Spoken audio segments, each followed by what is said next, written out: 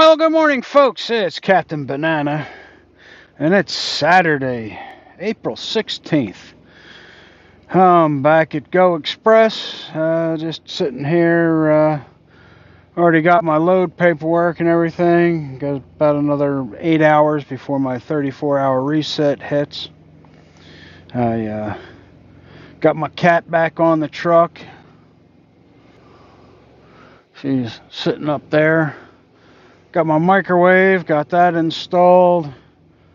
Got my CB radio installed. I, uh, I use bungee cords. I stick them on my uh, my little cabinets here. I have bungee cords for regular paper towels, and I got bungee cords for my shop towels. And of course, got my leaf blower that's hidden under my four boxes of cereal. And there's the there's the baby. He is my little precious. My little precious.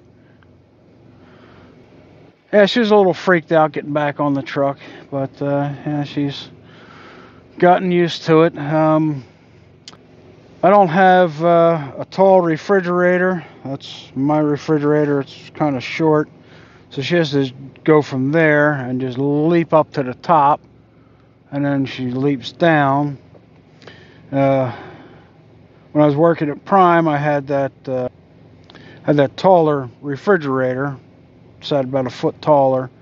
Then I had the microwave on top of that, so that's what she used to get up and down. But it's a cat, you know. She's uh, she's able to leap.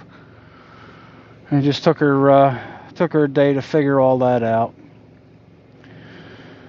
But yeah, I'm just you know bored sitting here. Uh, waiting for my 34 to hit. I'm going out to Milton, Pennsylvania. That's a uh, that's just a short 16 and a half hour drive. You know, not real far, but I'm sure I will get a back haul coming back. But the problem with Omaha is there's nothing to do. I mean, there's really nothing to do in Omaha. Uh, what's Omaha famous for? Uh, Warren Buffett lives here. Um, it's got a zoo. It's got a train museum. I'd like to go to the train museum, but you know, maybe next weekend. I don't know. Other than that, not a whole lot to do in Omaha.